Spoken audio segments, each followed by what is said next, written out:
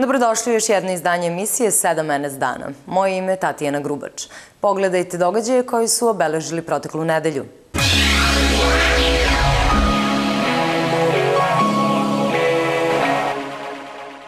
U VIP salonu Gradskog sportskog i poslovnog centra Vojvodina domaćim i stranim novinarima koji prate Evropsko prvenstvo u rvanju obratili su se predsednik pokrajinske vlade Igor Mirović, gradonačelnik Novog Sada Miloš Vučević, predsednik Svetske rvačke federacije Nenad Lalalović i predsednik Rvačkog saveza Srbije Željko Trajković. Svi oni izrazili su veliko zadovoljstvo zbog odlično organizovanog rvačkog šampionata Evrope. Novi Sad se po ko zna koji put dokazao kao vrhunski organizator najznačajnijih sportskih manifestacija. Učinjeni su napori da sve besprekorno funkcioniše u gradskom sportskom i poslovnom centru Vojvodina. Ovo takmičenje naravno nije samo veliki sportski događaj, već i šansa za našu državu i Novi Sad da se promovišu, da pokažu sve kvalitete sa kojima raspolažu.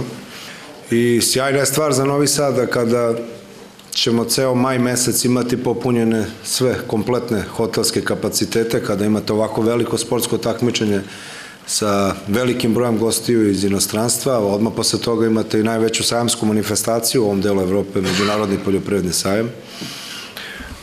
To je najbolja podrška i privredi, i hotelijerima, i taksistima, i ugostiteljima, i brojnim trgovinama, To se direktno odražava i na kvalitet privrede grada, a time i pokrene i naše države Srbije. Iako Evropsko prvenstvo u rvanju u Novom Sadu još nije ušlo u završnu fazu, postoje razlozi za zadovoljstvo u organizacijonom odboru ovog takmičenja. Vidljivi su rezultati u stvaranju odličnih uslova za održavanje značajne sportske manifestacije. U pripremi organizacije ovog velikog takmičenja nastupali zajedno i Ministarstvo sporta, i pokrajinska vlada, i grad Novi Sad, i Rvački savez Srbije uz podršku Evropske i Svetske federacije i vidi se kada nastupamo zajedno, koordinisano, da u finansijskom, tehničkom, organizacionom i svakom drugom smislu možemo da provedemo takmičenje na najvišem nivou. Takmičenje se održava u velikoj sali Spensa u ambijentu dostojnom evropskog prvenstva. Momentalno u Novom Sadu se nalaze predstavnici tri grada kandidata za sledeći evropski šampionat, a Novi Sad je postavio nove standarde a njih je uhvatila panika. I bit će im veoma, veoma teško da organizuju na istom nivou. Ali ja vam se zahvaljujem što ste nama, Svetskoj Hrvačkoj federaciji, postavili nove standarde da za budućnost Hrvači još više uživaju u svom sportu i u svojim takmičenjima. Naši rvači grčko-rimskim stilom nastupit će u subotu i nedelju. U Rvačkom savezu Srbije postoje trofejne ambicije. U startu se videlo da država radi i da je odradila svoj deo posla, a na nama je ostalo da to na najbolji način opravdamo, da dočekamo tu toliko sada već blisku subotu i nedelju i da obradujemo nas, vas, sve navijače novim medaljama za Srbiju i da se zahvalimo na jednom sinhronizovanom radu. Predsednik Svetske Rovačke federacije Nenad Lalović odlikovao je ordenom i plaketom predsednika organizacijonog odbora Evropskog prvenstva Igora Mirovića i gradonačelnika Novog Sada Miloša Vučevića.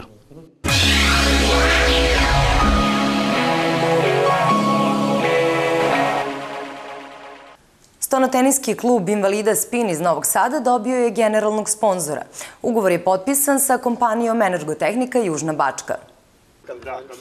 Prvi put u svojoj 18-godišnjoj istoriji stonoteniski klub invalida Spin dobio je generalnog sponzora.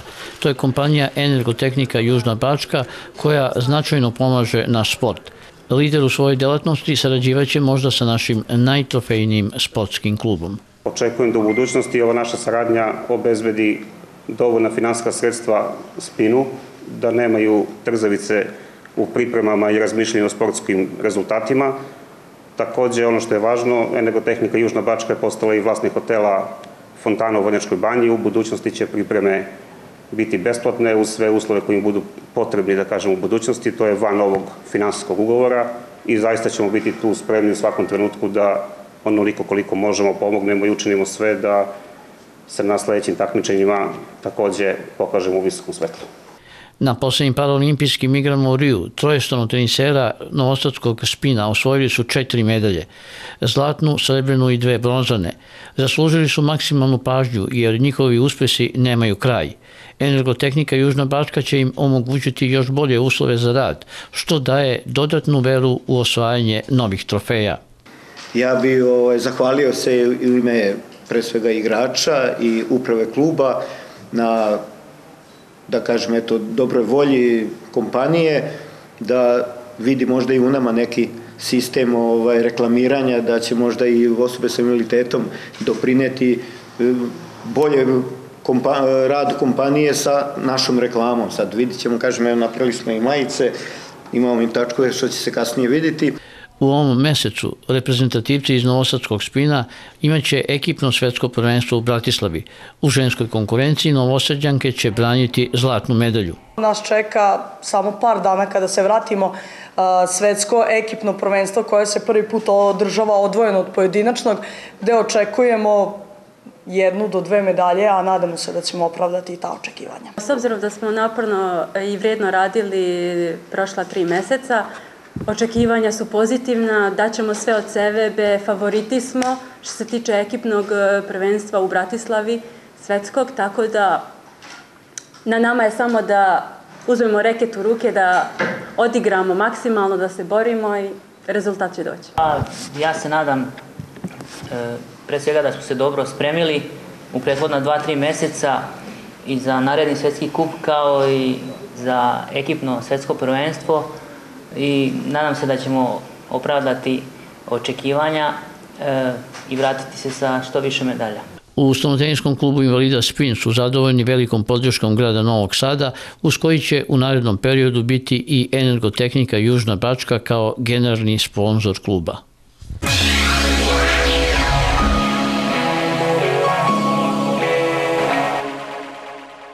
Na području Južnovačkog upravnog okruga popisano je 95.000 objekata za legalizaciju, od čega je u Novom Sadu oko 28.000, s tim da to nije konačna brojka. Krajnji rok za završetak postupka legalizacije je 2020. godina, a u procesu mogu biti isključivo objekti koji se ne vide na satelitskom snimku do 2015. godine. Mada je rok za podnošenje dokumentacije za legalizaciju objekata istekao krajem prošle godine, produžen je pa svi koji imaju nelegalizovan objekat mogu podneti zahtev za legalizaciju. Procenjuje se da 85% nelegalizovanih objekata čine individualni objekti za stanovanje.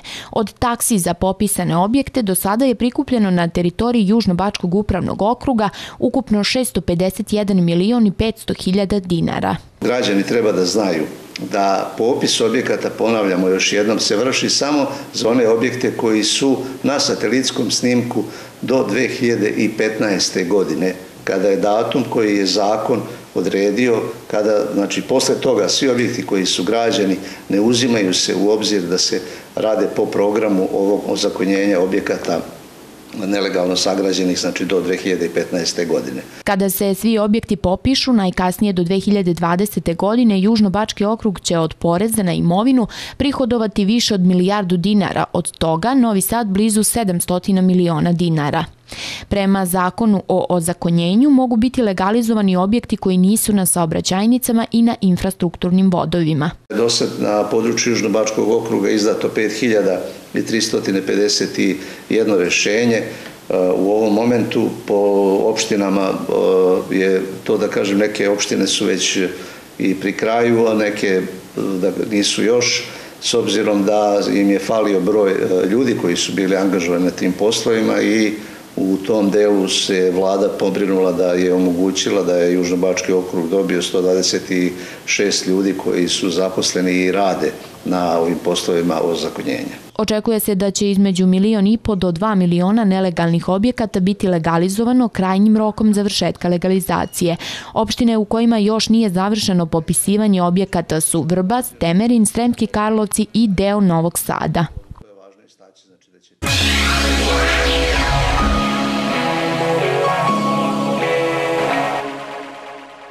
Povodom dana euromelanoma koji će biti obeležen 8. maja u 27 gradova Srbije, među kojima je i Novi Sad, biće organizovani screening pregledi u domovima zdravlja, klinikama i bolnicama. Svi zainteresovani mogu se prijaviti do 5. maja putem besplatne telefonske linije na broj telefona 0800 222 888 od 8 do 20 sati.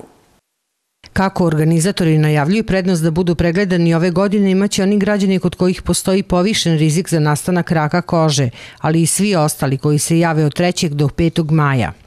Organizacija ovog dana je na nivou e, Ministarstva zdravlja, Udruženja dermatovenerologa Srbije, a Dom zdravlja se kao i svih prethodnih godina priključuje e, toj akciji i radit će se preventivni pregledi e, zakazanih pacijenata u ambulantama Liman i Novo naselje, prepodne i poslepodne.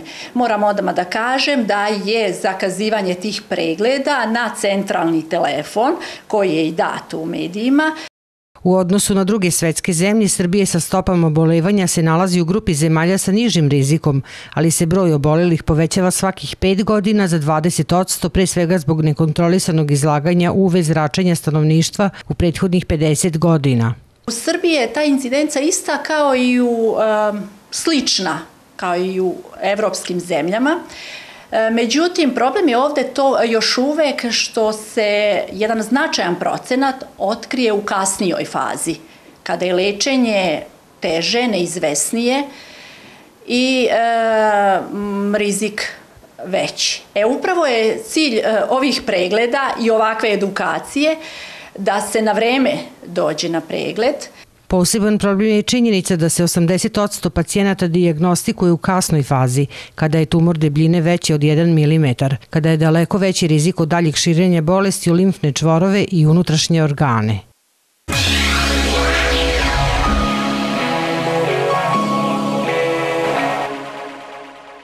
Odnos broja žena alkoholičarki u odnosu na muškarce koji se suočavaju sa istom zavisnošću je u porastu, te je tako sa nekadašnjih 1 prema 8 došao do 1 prema 4 statistike su specijalne bolnice za bolesti zavisnosti Vita. Jedan od uzroka porasta broja žena koje zlupotrebljavaju alkohol je i veći pritisak i više obaveza koje je ženama donela emancipacija, govori iskustvo lekara bolnice Vita. Prateći problem ove zavisnosti je i veća stigmatizacija žena u odnosu na muškarce kada je alkohol u pitanju. Istraživanja bolnice Vita govore da su žene pretežno sekundarni alkoholičari, odnosno da je alkoholizam posledica prethodnih psiholoških problema, kao što su porodični odnosi, nesigurnost, usamljenost, stres. Kod žena možemo izdvojiti dva tipa pijenja, solističko kod kuće i u društvu na javnom mestu. Ipak sve više se zapažao pijenje kod devojčica, odnosno tinejdžerki. Tu smo takođe kao bolnica Vita radili istraživanje zloupotrebe alkohola kod mladih i došli smo do podataka da čak 70, odnosno 81% mladih do 17. godine je imalo iskustva sa alkoholom, dve trećine njih imalo iskustvo pijanstva, a više od polovine konzumira alkohol više manje redovno, najčešće prilikom izlazaka u grad tokom vikenda. Tu smo primetili da takođe se menja i obrazac pijenja, odnosno načina konzumiranja alkohola, da on postaje sve više takmičarski na neki način, odnosno da se konzumira što više alkohola za što kraći vremenski period, pri čemu, opet tu ponavljam, niti devojke ne zaostaju u tom načinu konzumiranja. Zapravo, to je taj, kako kažem, rezervoar, odnosno inkubator kasnijeg razvoja bolesti, zavisnosti, odnosno alkoholizma. Jedna od specifičnosti ženskog alkoholizma je veća osetljivost organizma u odnosu na muškarce, što je potvrđeno i kliničkim istraživanjima. Usled mesečnih hormonalnih promena tolerancija na alkohol je niža nego kod muškaraca. Takođe, zdravstveno stanje žene se brže pogoršava. Javljaju se oštećenja tena, podočnjaci, predolazi do ciroze jetre i ostalih malignih oboljenja. Poseban problem predstavlja konzumiranje alkohola u trudnoći. Alkoholizam u trudnoći e, u principu se drastično može odraziti na plod, naročito u periodu organogeneze, znači u prvom trimestru trudnoće. E, čak i najmanje količine alkohola e, se mogu teratogeno odraziti na plod, suštinski znači može doći do neadekvatnog razvijenja organa i organskih sistema. Najdrastičnije posledice ženskog alkoholizma i dalje se ispoljavaju u porodici i tiču se poremećaja u ulozi majke, odnosima prema deci, gde žena i dalje ima presudnu ulogu. Ovaj problem, kao i ostale bolesti zavisnosti, pogađa čitavu porodicu koja je stup društva. Prvi korak ka prevazilaženju ovog problema jeste dolazak na lečenje. Prvi pregled i konsultacije u bolnici Vita, koja se nalazi u ulici Aleksandra Tišme broj 7, su besplatni.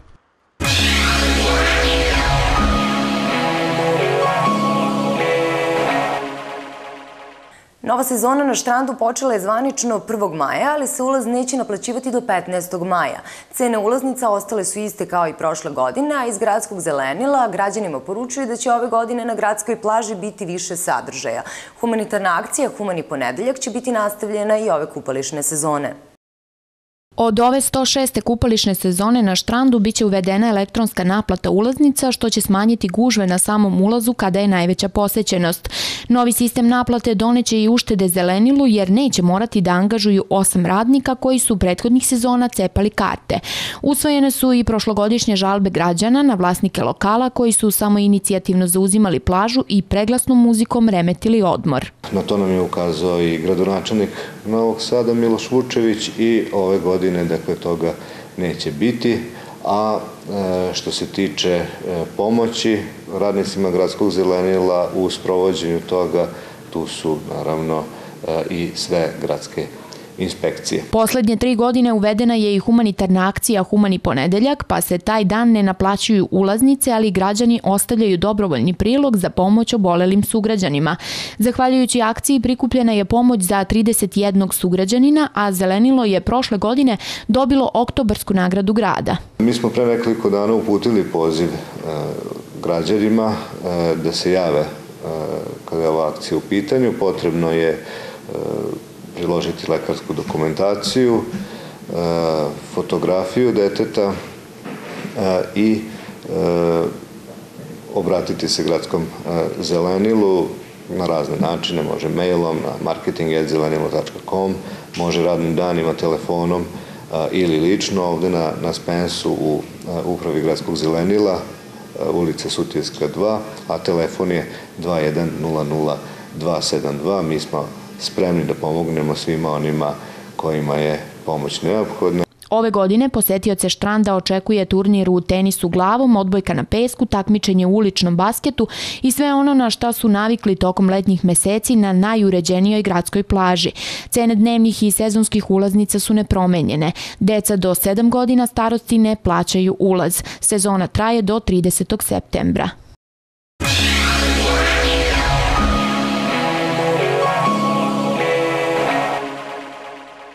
Projekat Opens 2019. podržao je program obavezne obuke iz prve pomoći za studente prve godine osnovnih studija Univerziteta Novi Sad donacijom lutke za vežbu oživljavanja i pružanja prve pomoći.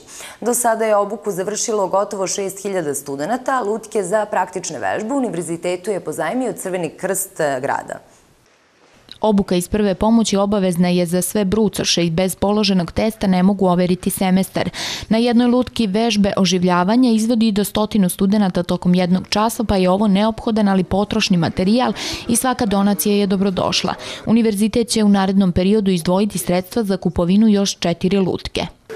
U slučaju nekih vanrednih, e, nepredviđenih prilika i okolnosti, oni bi bili spremni da pruže odgovarajuću pomoć desetinama drugih ljudi.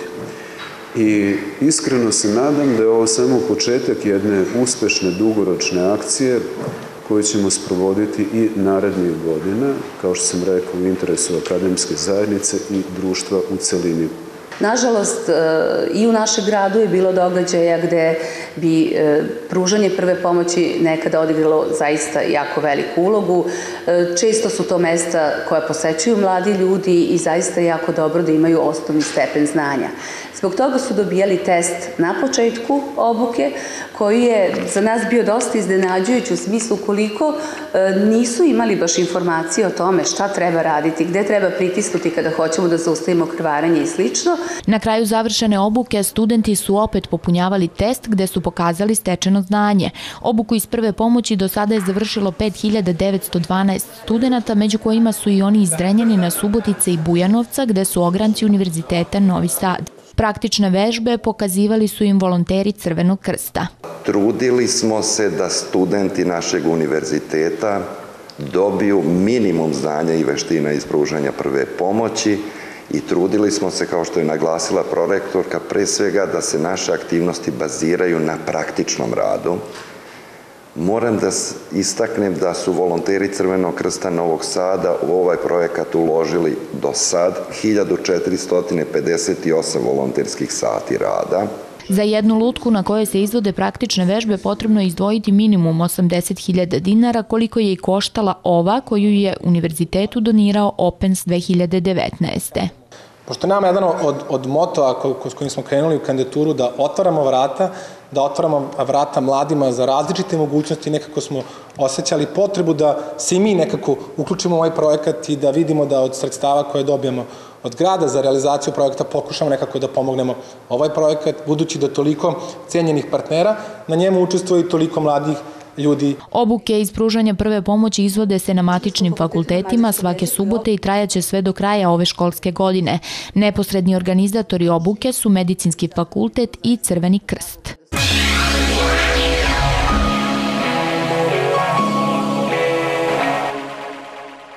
Prva asocijacija kada spomenemo 1. maj je svakako roštilj prirode i pozitivna atmosfera.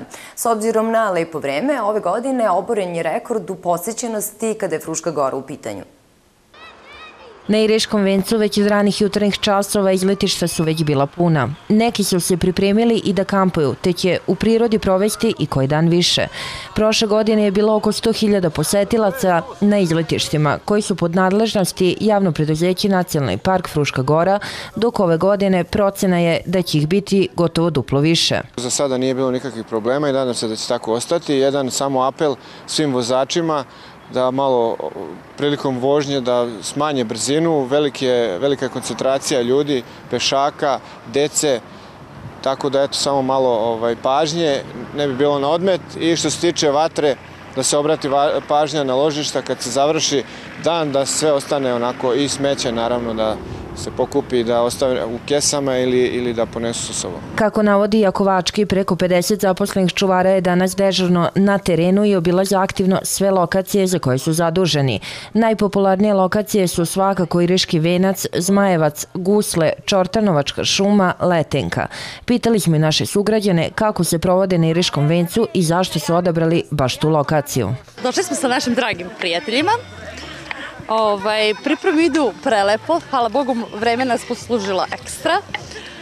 A, došli smo još jutros. Ovde svake godine dolazimo, lepo je. Sa ženom i kumom i drugarima. Ekstra idu pripreme i iz Novog Sada smo. Sin i snaja su stigli jutro ranije da zauzmu mesto. Uh, javili su nam gde su, mi došli do njih i tako, ništa određeno, gde smo našli, tu smo došli i tako. Svaki godine smo baš bukvalno na istom mestu i zaista je prelepo. Inače dolazimo i kad nije prvi maj, ali danas posebno. Pored Iriškog venca ne samo novosađani, već i žitelji drugih gradova tradicionalno proslavljaju prvi maj u Kameničkom parku. Kako saznajemo, i tu je oboren rekord u posjećenosti, te je do sad već nekoliko hiljada ljudi posjetilo prvomajsku nezaobilaznu lokaciju. Nikakvih problema nije bilo, ljudi su došli da sačekaju sinoć, a, oko 18-19 sati su se počeli okupljati, nisu postavljali šatore, poštovali su pravila Kameničkog parka, spomenika prirode. Predivni momci, veseli, znači ne sećam se za 20 godina da je bila tako dobra, pozitivna harmonija, organizacija je odlična, nema nikakvih začkoljica, niko se ni na šta ne žali, možda malo cigli fale, da bi se još postavili roštilje, ali niko se nije nadao da će biti toliko divnih mladih ljudi. Da u Kameničkom parku zaista vlada harmonija i pozitivna energija najbolje su dočarali osmesi posetilaca. Odlično, pre neki sat vremena. Ono, laga, lagano krećemo, pa cijeli dan. Pa ovu lokaciju smo odabrali zato što je baš uz Dunav i zato što je tu ima ljudi i zato što je veoma poznata i i dobra. Došao sam ovde sa društvom i, i tu se odmaramo, uživamo roštiljamo i planiramo možda da ostanemo još jednu noć. Pa ovo smo odabrali mjesto pošto je popularno inače među ovaj, novosađanima, pa preporučilo se nam da ovdje dođemo tako da se družimo da proslaje ovaj praznik međunarodni. Pa odlično, zato što smo bili prošle godine ovde, tako da nam, ono, sviđa nam se ova pozicija. Pa nema neke tajne. Što duže kraj roštilja i to je to. Bez obzira na godine i mlađi i stari uživaju u ovom divnom sunčanom danu. Kako navode, za sad je sve prošlo bez većih incidenata.